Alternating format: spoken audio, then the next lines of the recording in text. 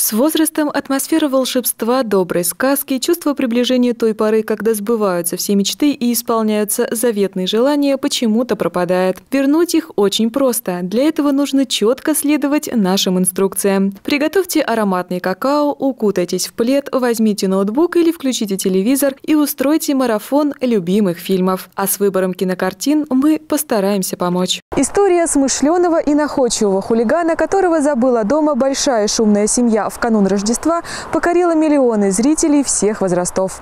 В этом году культовой комедии «Один дома» исполнился, только вдумайтесь, 31 год.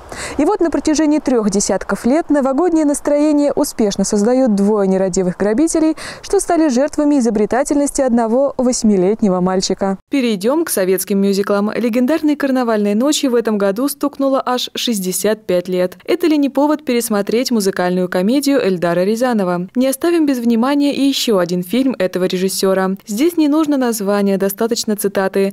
«Каждый год 31 декабря мы с друзьями ходим в баню». История Жени Лукашина и Нади Шевелевой уже давно стала настоящим символом Нового года. Советуем пересмотреть, а то что-то в нас пропал совсем этот дух авантюризма. Мистер и миссис Дурсель проживали в доме номер 4 по Тисовой улице и всегда с гордостью заявляли, что они, слава богу, абсолютно нормальные люди. Эти строки без труда узнают все патерманы, коим и я себя причисляю. Практически невозможно себе представить новогодний киномарафон без истории о мальчике, который выжил. И самая светлая и сказочная его часть, безусловно, первая – «Гарри Поттер и философский камень».